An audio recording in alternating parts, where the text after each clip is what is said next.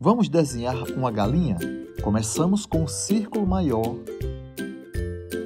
e um bem menor na parte de cima e um pouquinho afastado.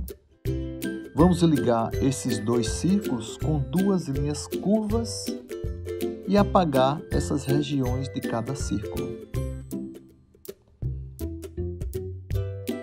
Olha como é fácil fazer o bico da galinha.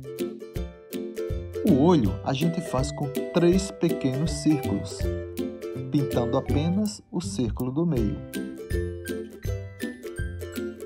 Vamos fazer esses detalhes com algumas curvas embaixo do bico e em cima da cabeça. A cauda a gente faz com uma linha curva para o alto, que desce como se a gente estivesse escrevendo o numeral 3 emendado várias vezes. Vamos apagar essa parte do círculo maior.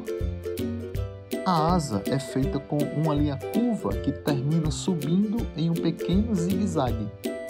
Vamos fazer as coxas da galinha com duas curvas e as pernas com linhas retas e paralelas.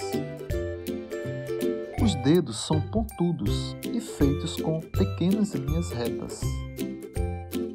Agora basta desenhar pequenos traços em uma parte do corpo e eis o desenho da nossa galinha.